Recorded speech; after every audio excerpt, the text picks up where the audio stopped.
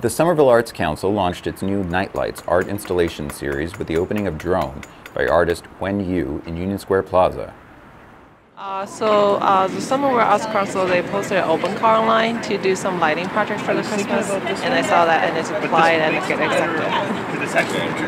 So my project is called Drone. Uh, basically, the idea is coming from the bee community because I thought about you know how this community, Somerville community, in relation to a bee community. You know, it's not a good analogy, but I think it's just to show like how people work together, live together, and then uh, I just have this idea and then I build it.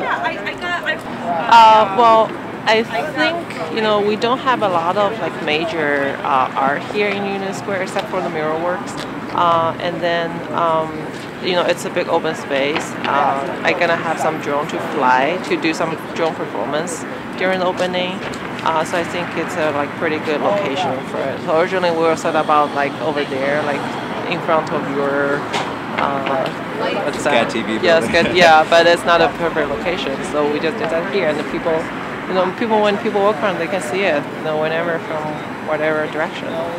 Well, it's not specific to working for the people, it's to the, the work relationship to our human being as a whole. Because I think about, you know, um, so I originally I'm gonna have like a drone, robotic drone to pick up pieces, like hexagon pieces back and forth, like how we discover and transfer and interpret data uh, for you know those more intelligent machines.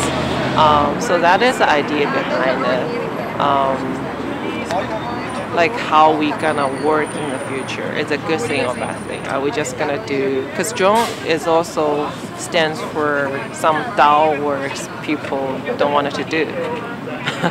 so I'm just thinking, well, is this a good thing or bad thing? Are we really become um, some labor for more intelligent machines, or we are actually creating something new?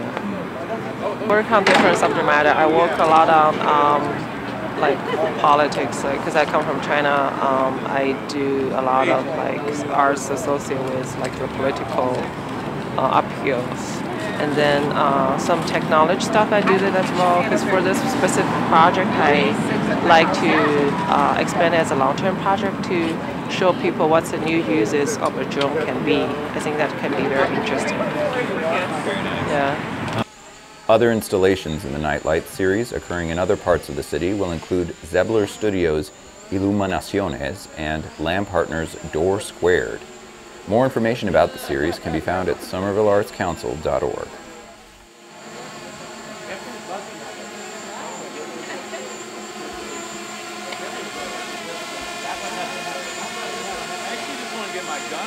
you